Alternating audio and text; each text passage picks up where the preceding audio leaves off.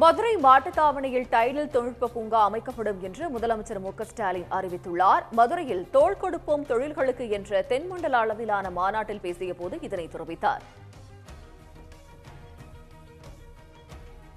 மதுரையில் இரண்டாவது தகவல் தொழில்நுட்ப பூங்கா அமைக்கப்படும் என்ற முதலமைச்சர் ஸ்டாலினின் அறிவிப்பை மதுரை எம்பி சு. வெங்கடேசன் வரவேற்றிருக்கிறார்.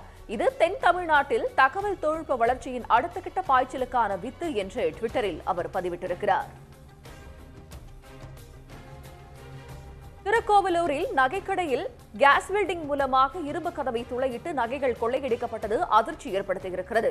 கடையில் இருந்து ஒரு கிலோ தங்கம் மூன்று கிலோ வெள்ளி நகைகள் கொள்ளையடிக்கப்பட்டிருக்கின்றன. நாடு முழுவதுமாக அங்கீகரிக்கப்பட்ட பள்ளி மற்றும் கல்வி நிலையங்களில் ஒரே சீருடையை உருவாக்க கோரி தொடரப்பட்ட வழக்கை உச்சநீதிமன்றம் தள்ளுபடி செய்தது. இத்தகைய வழக்குகள் நீதிமன்றத்தின் விசாரணை வரம்புக்குள் இல்லை என்று கூறி மனு தள்ளுபடி செய்யப்பட்டது. சென்னை மெரினா கடற்கரையில் முத்தமிழறிஞர் கலைஞர் பேனா நினைவு சின்னம் பணிகளை தொடங்க ஒன்றிய அரசு முதற்கட்ட அனுமதியை வழங்கியுள்ளது. இத்திட்டத்திற்கு மக்களிடம் கருத்து கேட்பு மாசு கட்டுப்பாட்டு வாரியம் மற்றும் சுற்றுச்சூழல் அனுமதியை பெற்று அடுத்த கட்ட பணியை தொடங்கலாம் என கூறியுள்ளது. உக்ரைனில் இருந்து நாடு திரும்பிய மாணவர்கள் அண்டை நாடுகளில் மருத்துவ படிப்பை தொடர நடவடிக்கை எடுக்குமாறு ஒன்றிய அரசிற்கு உச்சநீதிமன்றம் அறிவுறுத்தியுள்ளது. உக்ரைனில் இருந்து திரும்பியவர்கள் இந்தியாவில் படிப்பை தொடர முடியாது என்று நேற்று ஒன்றிய அரசு கூறியிருந்தது. டெல்லி அரசின் மதுபான கொள்ளை கொள்கை தொடர்பாக சென்னை பெங்களூரு மங்களூரு ஹைதராபாத் உள்ளிட்ட நகரங்களில் நாற்பது இடங்களில் அமலாக்கத்துறையினர் அதிரடி சோதனை மேற்கொண்டனர். ஹைதராபாத்தில் மதுபான ஆலை ஒன்றில் சோதனை மேற்கொள்ளப்பட்டது. சிபிஐ மற்றும் அமலாக்கத்துறையை ஒன்றிய அரசு வெறித்தனமாக கையாண்டால் நாடு எப்படி முன்னேறும் என்று டெல்லி முதலமைச்சர் அரவிந்த் கெஜ்ரிவால் கேள்வி எழுப்பியிருக்கிறார். தவறு இழைத்திருந்தால் விசாரணை மேற்கொள்ளலாம். ஆனால் தேவையின்றி மக்கள் மீது விசாரணையை நீக்கக்கூடாது என்றார் அவர். அரசு போக்குவரத்து கழகங்களில் முறையாக பணி செய்யாமல் இழப்பை ஏற்படுத்தும் அதிகாரிகள் மீது நடவடிக்கை எடுக்க தமிழ்நாடு அரசிற்கு உயர்நீதிமன்றம் உத்தரவிட்டுள்ளது. இதுகுறித்து சுற்றறிக்கையை அனைத்து போக்குவரத்து கழகங்களுக்கு அனுப்ப ஆணையிடப்பட்டுள்ளது.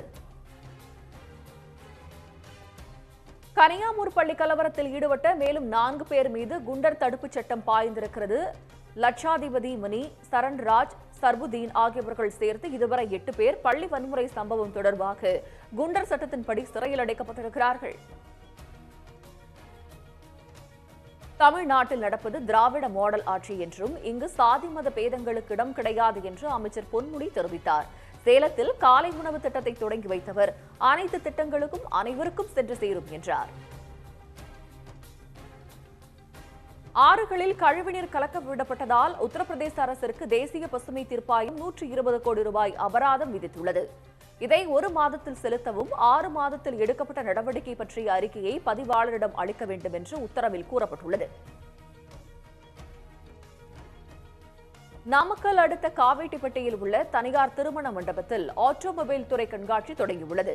மூன்று நாட்கள் நடைபெறும் இந்த கண்காட்சியில் அசோக் லைலாண்ட் டாடா மோட்டார்ஸ் பாரத் பென்ஸ் உள்ளிட்ட இருநூற்றி ஐம்பது நிறுவனங்கள் பங்கேற்றுள்ளன அரசு பள்ளி மாணவர்களுக்கு அடுத்த மாதமே நீட் பயிற்சி வகுப்புகள் தொடங்குகின்றன. முதலமைச்சர் ஸ்டாலின் பயிற்சி வகுப்புகளை தொடங்கி வைக்கிறார். வழக்கமாக டிசம்பரில் நீட் பயிற்சி வகுப்புகள் தொடங்கும் நிலையில் தேர்ச்சி விகிதத்தை அதிகரிக்க இந்த ஆண்டு முன்கூட்டியே வகுப்புகள் தொடங்கப்படவிருக்கின்றன.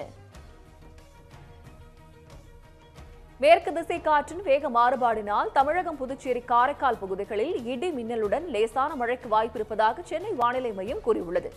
சென்னையில் முப்பத்தைந்து டிகிரி செல்சியஸ் வரை வெப்பம் பதிவாகும் என தெரிவிக்கப்பட்டுள்ளது. உடனுக்குடன் செய்திகளை தெரிந்து கொள்ள சன் நியூஸ் பெல் கிளிக் பண்ணுங்க.